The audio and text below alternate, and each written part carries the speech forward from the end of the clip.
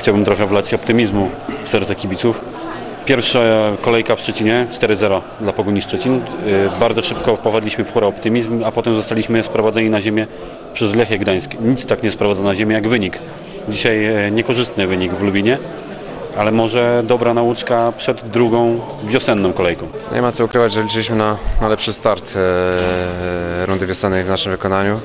No niestety polegliśmy wysoko, ale może rzeczywiście będzie tak jak mówisz, że, e, że ta porażka dzisiejsza e, dodatkowo nas zmobilizuje, dodatkowo nas zmotywuje przed kolejnym meczem w Gdańsku i, i na ten moment jesteśmy w fatalnych nastrojach, ale ja głęboko wierzę w to, że, że po następnej kolejce nasze humory nasze kibiców, e, wszystkich związanych z klubem będą zdecydowanie lepsze i, i trzeba patrzeć optymistycznie w przyszłość i mm, oby takie mecze jak dzisiaj więcej się nie powtarzały. Trudno, optymizm. Wiadomo, że wyjeżdżamy ze spuszczonymi głowami, bo bez punktu wracamy do Szczecina. Jakikolwiek pozytyw z dzisiejszego spotkania da radę zauważyć, wyciągnąć? Jedynym pozytywem jaki przychodzi mi teraz na myśl jest to, że wygraliśmy 4-0, a przegraliśmy z Zagłębiem 3-0, także jesteśmy jedną bramkę do przodu, ale a tak na poważnie to mm, mieliśmy zupełnie inne założenia. Wiedzieliśmy, że że Zagłębie jest groźne ze stałych fragmentów. E, uczulaliśmy się nawzajem na to, a, a mecz otworzył się bramką po stałym fragmencie dla Zagłębia i, i nie zdążyliśmy się otrząsnąć, dostaliśmy drugą bramkę ze stałego fragmentu z rzutu karnego, no ale do przerwy nie potrafiliśmy się po tych dwóch e, ciosach ze strony Zagłębia podnieść i, i ta gra nie wyglądała zbyt dobrze, nie byliśmy, nie byliśmy kolektywem, nie byliśmy zespołem po przerwie.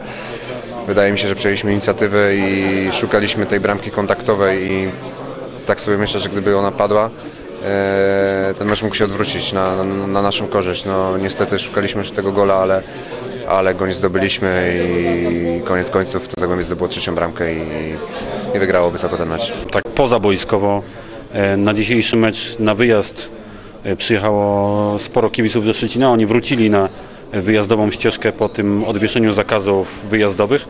Do Gdańska też pojadą. Czujecie wsparcie e, fanów ze Szczecina?